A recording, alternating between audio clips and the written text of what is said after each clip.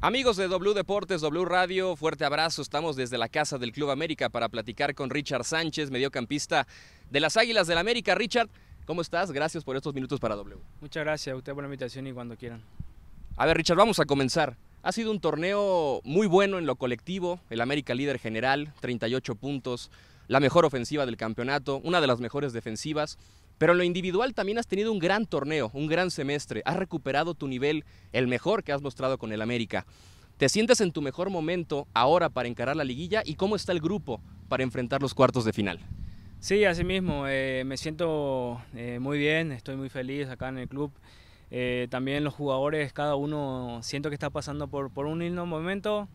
la verdad tratamos de disfrutar cada entrenamiento, cada partido, porque esto pasa así volando. También tenemos el objetivo que es salir campeón, tenemos bien claro eso. Y nada, me siento, me siento un Richard Sánchez bien, bien feliz, eh, cómodo, estando en un buen momento y nada, esperemos que, que consigamos el objetivo.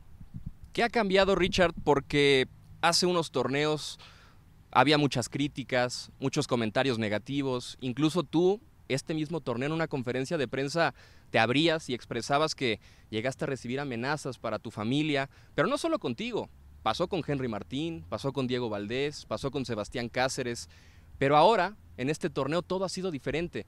Todo es positivismo, todo es felicidad en la afición. ¿Qué ha cambiado en la interna del grupo para que esto se refleje en la cancha y en los resultados? Siento que eso es normal en, un jugador, eh, también en un club como, como que estamos en el club más grande, entonces es, mucha presión, eh, hay que saber hay que saber bancarse, aguantarse todo, eh, es normal que, que cuando las cosas no, no, va, no va bien, eh, lleguen las críticas, eh, eh, todos entre nosotros nos reagrupamos después de lo que pasaba, entonces hoy en día estamos pasando por un buen momento, ya pasaron los malos, entonces ya nadie habla de eso, la gente está detrás de nosotros. Nosotros tratamos de, escuchar siempre las críticas, que eso también nos ayuda a nosotros a, ver lo malo que hacemos, pero también llegar hasta una amenaza siento que ya es muy difícil. Eh, lo importante es que, ya pasó, que estamos, estamos todo bien, estamos felices y nada, esperemos cerrar el, año con, una, con una copa. ¿Qué tan importante ha sido el Tan Ortiz en este cambio de inercia hacia lo positivo en el América? Porque retrocediendo un poco, cuando llega como interino el torneo pasado, los mete a la liguilla, después desafortunadamente quedan eliminados, y en ese momento mucha gente, incluso colegas en la prensa, decían que no era el técnico ideal para el América, que le quedó grande el equipo, que no supo manejar la liguilla. Y luego llega este torneo, líder de la competencia, 12 partidos prácticamente sin perder de cara a lo que es cuartos de final. Entonces el Tano tampoco era tan mal técnico como muchos decían, ¿no? No, la verdad fue muy importante su llegada porque hoy en día, como, como, como ven, eh, cada jugador está pasando por un gran momento.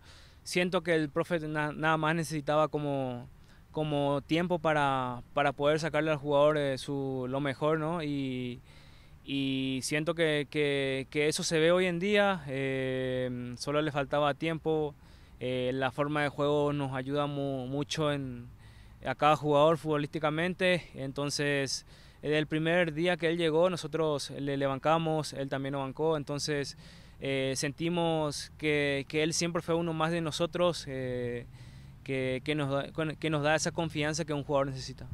¿Les gustaría que se quede más tiempo el Tano en el equipo? Porque desde afuera se nota que hay un buen ambiente, que hay muchos amigos que se llevan bien, cuando celebran un gol todo el mundo se abraza. Me parece que están contentos con él. ¿Les gustaría que se quede más tiempo? Claro, obviamente. Eh, y qué, qué, momento y cerrar con, con un campeonato este año. Eh, estamos, estamos pasando por un gran momento, eh, disfrutando cada partido, como dije, y obviamente todo jugador desea, desea que el técnico no se vaya, eh, que, que, también él, como viene remando de abajo, eh, también consiga, consiga un título que, que es lo que más necesitamos. Hablando de la liguilla, ya pensando en los cuartos de final la siguiente semana, esperando rival obviamente el América, ya una vez instalado en la siguiente ronda, el día de ayer, no sé si alcanzaste a escuchar la declaración de futbolista de Cruz Azul, Rodrigo Huescas, un canterano, que mencionaba que ellos quieren al América nuevamente en la liguilla, porque quieren demostrar que lo que pasó en temporada regular, el 7 por 0, no es la realidad entre América y Cruz Azul. ¿Ustedes piensan de esa manera? ¿Les gustaría enfrentar a Cruz Azul para dejar claro que el América en este momento es el favorito y el campeón? Bueno, el favorito al título y el equipo a vencer? La verdad nosotros pensamos de una forma diferente. Nosotros, eh, cada uno sabe que, que, fuera de la cancha no es, no es bueno hablar, empezar a hablar porque cualquier cosa puede llegar a pasar. Eh, estando dentro de la cancha eh, es diferente, entonces ahí uno no puede salir a hablar y, y opinar. Es, es estar estando 11-11 y competir y ya luego el resultado habla por sí solo. A ver, ahora sí, hablando de la 14, Richard. Tú te has dado cuenta, el apoyo de la afición ha sido impresionante durante este torneo. Incluso a mitad de semana, en un partido amistoso contra el Atlante, metieron 40 mil personas. Luego, bueno, pues el clima no, no, no pudo hacer posible que se disputara el partido, pero ¿qué decirle a toda la gente que está esperando la 14 este torneo más que nunca? Porque en caso de no conseguirlo, sería un golpe durísimo para el americanismo. Sí, para nosotros mismos, por todo lo que, por todo lo que conseguimos ya. Entonces es como coronar con, con, algo hermoso y disfrutar con toda la gente que, que también se merece porque eh, estando lloviendo ellos siempre están ahí igual presentes. Eso, eso es América, ¿entendés? Entonces eh, uno siente eso eh, fuera y dentro de la cancha y nada, eh, cerrar este año con, con una copa que, que, sería, que seríamos felices todos. Ya por último, Richard, y agradeciéndote estos minutos, ¿por qué este torneo sí va a ser campeón el América. ¿Qué tiene este América que lo hace diferente al resto y por qué es el equipo a vencer y por qué va a ser campeón?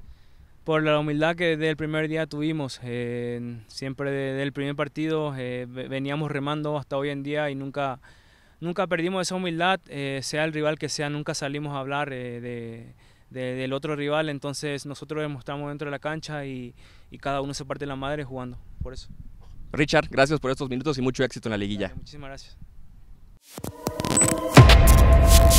Thank